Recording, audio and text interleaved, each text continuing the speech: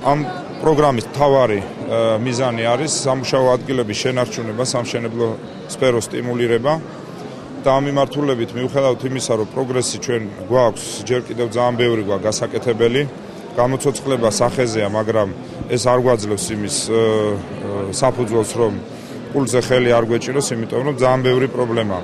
გარდა ამის, ერთ-ერთი მთავარი მიმართულება ამ პროგრამის არის ავარიული სახლებში მაცხოვრებელი ხალხისთვის შვების მიცემა და უკეთესი წინადადების შეთავაზება. აქ არ არის არანაირი ერთსახის ცვლილებაც ლაპარაკი, აქ არის დანგრეულ სახლში და ავარიულ სახლში მაცხოვრებელი ადამიანის გადაყვანა სხვა ახლა დაშენებულ კომფორტულ სახლში. მეორე ეტაპისთვის გამოვიტანით ორი პროექტი, რომელიც 5 თვეში მთავრდება.